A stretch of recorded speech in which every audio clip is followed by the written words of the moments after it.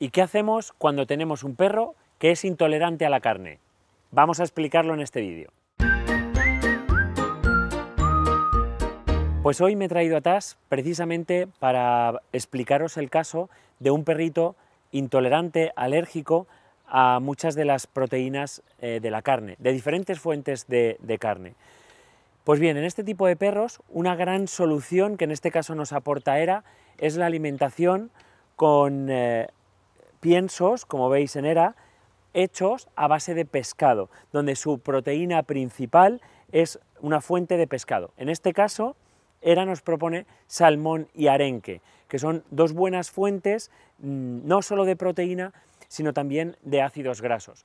¿Y por qué elegimos ERA? ¿Qué es lo que nos ofrece ERA que no nos ofrecen otras marcas? Pues bien,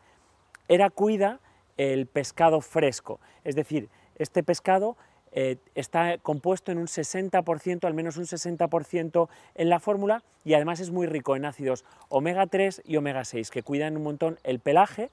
y tienen ingredientes funcionales, es decir, tiene una receta completa que nos ayuda a que el sistema inmune, los huesos en cuanto a minerales, los dientes, porque incluye un alga, en general el sistema eh, digestivo y los diferentes sistemas, tanto cardiovascular eh, como músculo esquelético, estén completamente protegidos con esta gama. Otros ingredientes a destacar, sobre todo en estos perritos que son de gran peso, como es el caso de TAS, que además son movidos y que ya van un poco camino de ser adultos, es eh, que está enriquecido en condroitín y en glucosamina, y esto hace que sus articulaciones estén más fuertes. Los antioxidantes que se incluyen en las plantas y los bioflavonoides que se incluyen también en la fórmula ayudan a la salud cardiovascular del perrito y ayudan a que la fórmula en su conjunto sea un alimento completo y sano para nuestra mascota, de tal manera que nos duren más tiempo y en mejores condiciones.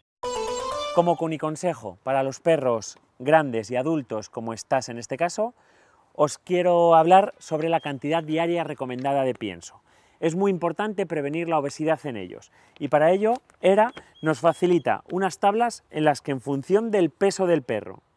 y si tiene baja actividad, moderada actividad o mucha actividad, le vamos a ajustar la cantidad de pienso que necesita por día.